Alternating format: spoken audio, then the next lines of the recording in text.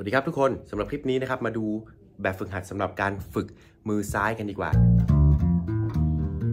วิธีการจับนะครับ เราจับให้นิ้วโป้งอยู่ด้านหลัง แล้วก็เวลาเรากดแท็ปปิ้งลงไป ให้เรากดนะครับ ใกล้ๆกับเฟดข้างๆกับเฟดเลย พวกรายละเอียดทั้งหลายเหล่านี้มันจะอยู่ใน e-book 100 วิธีการฝึกเบสของผมนะครับ ใครสนใจก็สามารถ inbox มาได้ เราจะเริ่มจาก C major 7 shape นะครับ ก็คือจะเป็นนิ้วกลาง นิ้วชี้ นิ้วก้อย แล้วก็นิ้วนาง โอเคนะครับ เราจะใช้แท็ปปิ้งอย่างเดียว แล้วโดยที่แท็ปปิ้งเราจะแท็ปปิ้งข้างๆเฟรดนะไม่ใช่บนเฟรดนะ ข้างๆเฟรดนิดเดียวนะครับ อย่าให้ห่างเกิน ข้างๆเฟรดนิ้วกลาง นิ้วชี้ นิ้วก้อย นิ้วนาง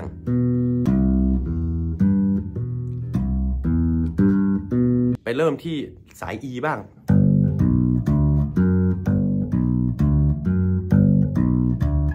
ขยับไปนะครับ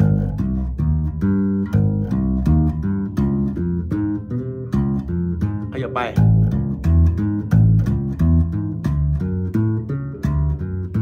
ไม่ต้องรีบนะครับ อันนี้ผมแค่แสดงให้เห็นเฉยสิ่งสำคัญคือเวลาเราแท็ปปิ้งลงไปเนี่ยเราอย่าให้นิ้วมันมันมันล้มลงไปอย่างนี้นะครับ พยายามคีปคีปให้มัน ให้มันโค้งไว้นะครับ อันนี้เป็นแบบฝึกที่